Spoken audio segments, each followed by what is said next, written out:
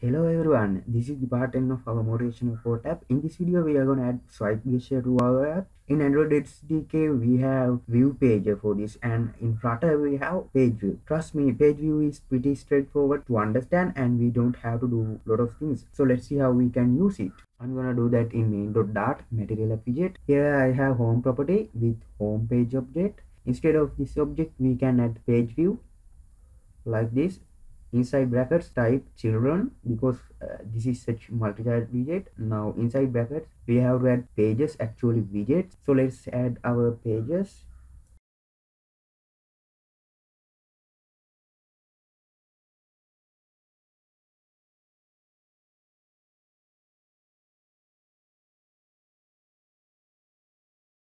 Restart the app. Yes it is working this is how we can use page view for fixed pages. I mean what if we have a lot of pages? Or suppose data coming through a database or firebase. In that case we don't know how much data we have and we need to display them in the page view. In that case we have a name constructor called pageview.builder we have another name constructor called pageview.custom using this constructor you can use custom child model what we want is this one page view dot builder name constructor. Let's try that out. After the page view add dot builder.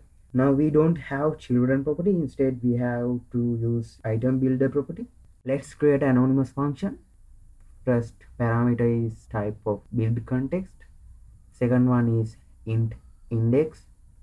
This function will create a widget using this index for us fat arrow here you can add any widget you want or list or something. For the sake of simplicity for now i'm gonna create a list of widget and add our pages to it.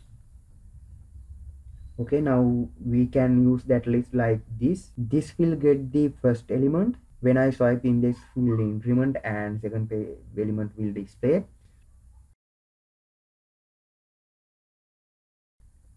so we have a problem infinite scroll on the right.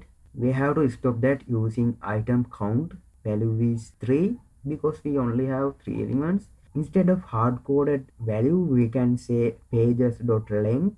You know this way is great when your list elements changing restart the app. Great. There are really cool properties in those three constructor like initial page. In order to use that we have to use a controller property and uh, value is page controller. Inside bracket we can use initial page let's say one. This will show first page when app is launched.